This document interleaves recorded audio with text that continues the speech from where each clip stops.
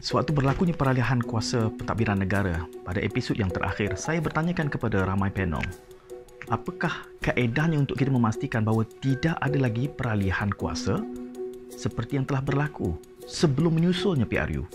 Dan kebanyakan panel mengatakan bahawa peralihan itu berlaku kerana sistem membenarkannya. Dan ia berlaku kerana ia merupakan suatu jaminan pilihan yang diberikan kepada para wakil rakyat kita.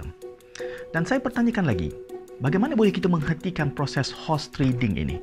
Pemerdagangan para perwakilan kita di dalam Dewan Rakyat baik bahkan juga dalam Dewan Undangan Negeri. Bagaimana ini boleh dihentikan agar kita mempunyai sustainability atau kemapanan? Dan ini akan kita bicarakan di dalam dialektika hari Sabtu 6 Jun pukul 9 malam. Lompat parti. Apakah ini boleh dihentikan? Anda boleh berikan kritik dan saran dan juga berpartisipasi. Pilihannya sama ada di YouTube, Instagram ataupun di Facebook.